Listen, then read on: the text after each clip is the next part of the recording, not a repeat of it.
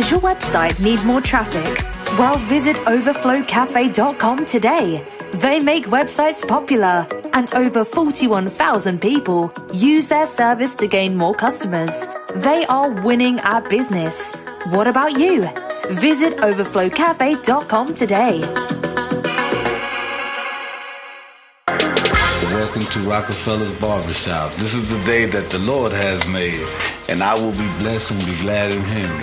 Today, I want to introduce myself. My name is Rico Rodriguez at Rockefeller's Barbershop here in San Antonio, Texas, 1733 Babcock Road. My phone number is 210-782-5188. Come out and get your haircut here at Rockefeller's Barbershop.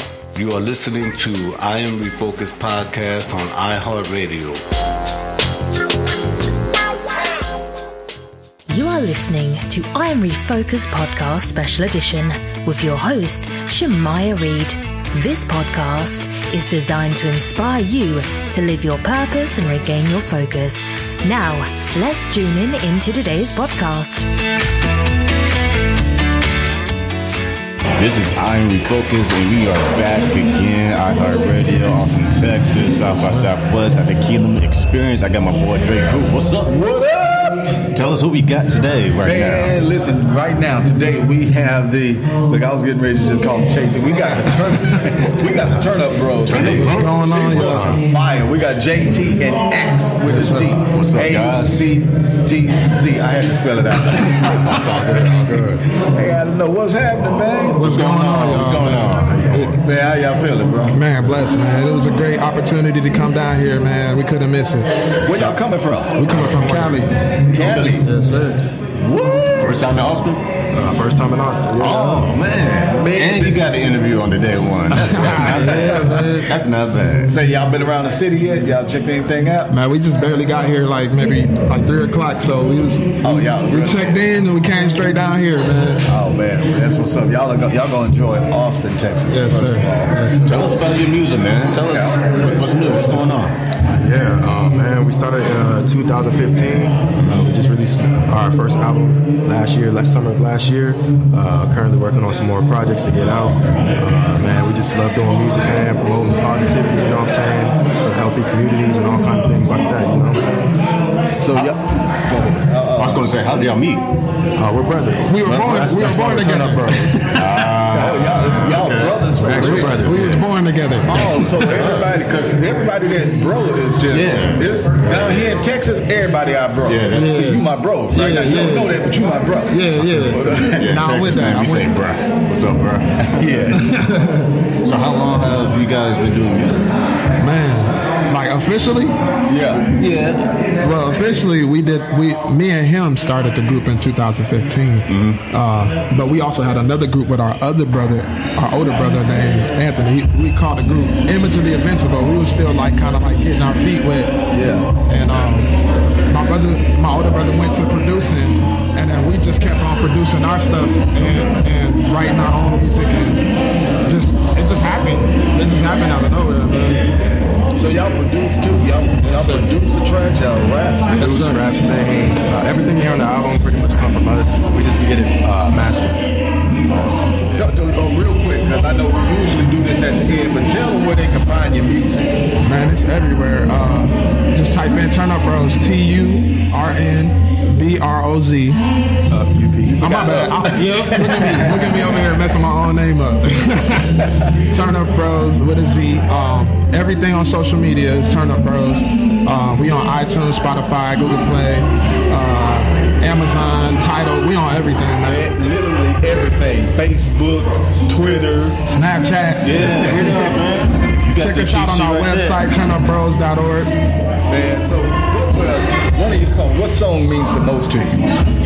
Man, So many. the whole album like i can't pick a song the entire album has a meaning like it tells a story of, of just us having fun loving god um, a, a couple of testimonies in some some of our songs you know what i'm saying uh, but most of, but most of all it just kind of get that cali feel like it brings back that that west coast feel that was missing for a long time and you don't really you don't really got the west coast feeling in the uh, chh industry you know what i'm saying I'll say this. Uh, guaranteed there's a song for everybody on the album. So you're gonna find something you like. Yeah, usually y'all can get by on this, but ain't nobody told me what their favorite song is. What turned it?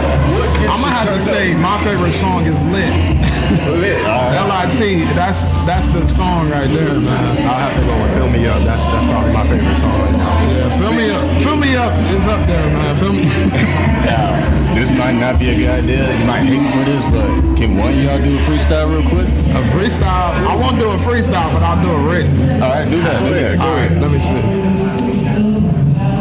Hold on, let me think real quick, cause now you got me on the spot. Look at yeah, because you was off. Go ahead, JT. Go, go, go Okay, ahead. you just- you ready? I got one. All right, never turn down. We lit. Uh, squad max out. We legit. Uh, whole team been winning, but I'm way up. Had the juice from beginning. Like yeah, West Side Cali, we the realest. Waiting on the beat to drop like Carter Six. Uh, huh. one time like the Fugees on my Lauryn Hill again, pushing little Uzis. Duke Nukem time to kill these little doozies. Put them in the coffin, make them disappear. Houdini. They try to shut the bros down, but we ain't with it.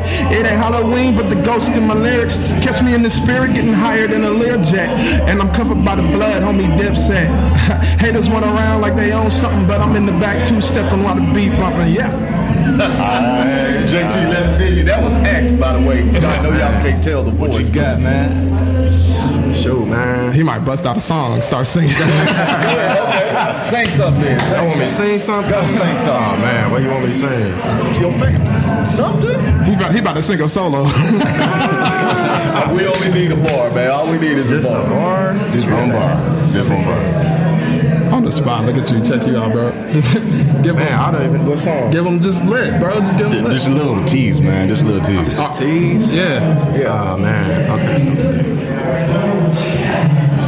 I don't even know what to do. Man. Do lit, bro. Do your thing. Just Act, act do like you in the studio. All right, all right, all right. Let me see what I can do.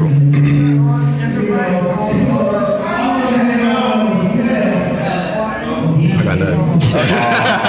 Well, listen, what are y'all doing in the public, man? I mean, I know y'all got a lot of stuff that y'all y'all go out and y'all minister. What, Yeah. What's happening in the public that you doing? Man, go ahead, go ahead, Jay. Oh man, the public man, um, we do whatever we can, really, man. Uh, we're not just limited to uh, one venue. I mean, we do high schools, colleges, we do churches, we do outside events, clubs, uh, lounges.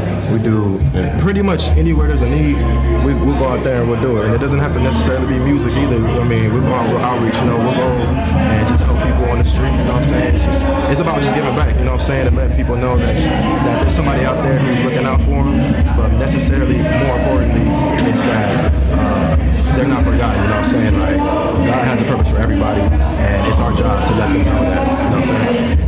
How's the community out there in Cali? How, how has they react to your music? Guys? Man, honestly, bro, like we had to we had to dissect the youth out there because they're they're so into like the young thugs and they're so used to like Rae Sremmurd and they're so used to like you know what I'm saying? Like like all the new rappers out there and like we still like on that like West Coast YG type stuff you know what I'm saying? Yeah. so we dissected what the industry was doing and we dissected what the youth was feet what was what the youth was eating.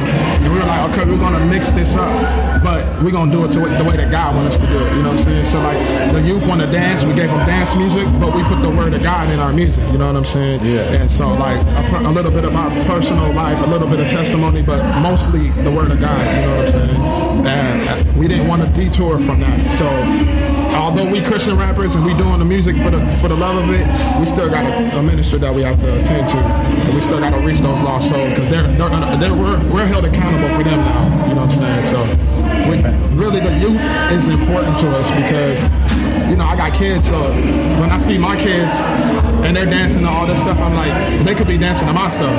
Yeah. And so I make music for them. You know what I'm saying? And it don't got to be them talking about this girl to be or they sleeping with blah blah blah blah blah. Yeah. It could be God is dope.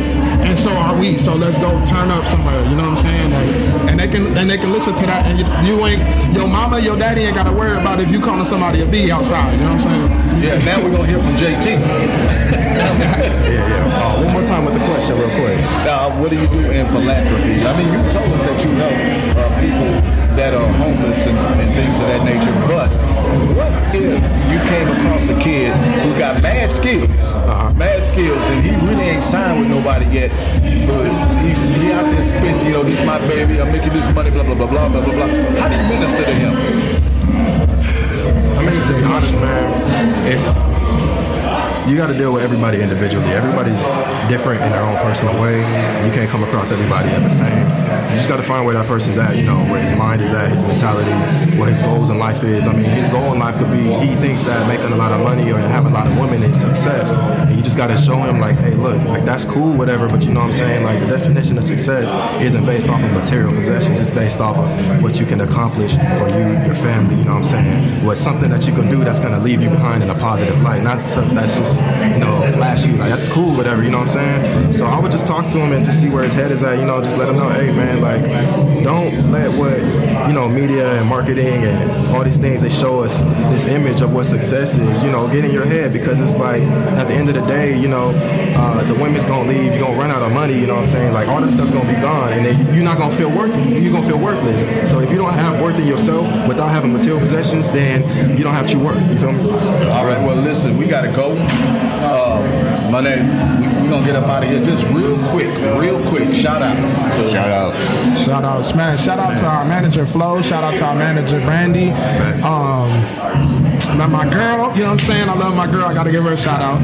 Her name, her name. Zandre, I love that woman, yo. There you go. Man, all our supporters, man, mom and pops, everybody and at pops, home who's, yeah. who's supporting us out here, man. We love everybody. All the. IE, we love y'all. Appreciate y'all support, carrying us everywhere. And uh, shout out to South by Southwest for having us, man. So we time. appreciate the uh, opportunity to come out and speak, man. Awesome, awesome. Well, you know what time it is, guys. It is South by Southwest Kingdom Experience in Austin, Texas. I got my boy Dre Coop. That's right. I am Refocus Podcast. Check us out. I Heart Live Radio. I Heart Radio, boy. I say I Heart Live. I'm going. Look, I'll get everything twisted, man. I'm about I'm about 60, 70 years old, so y'all don't worry about all that. But I Heart Radio, man, they doing it live. But we will be right back, and you guys tune in because we ain't going nowhere. I Heart Radio, boy. One time.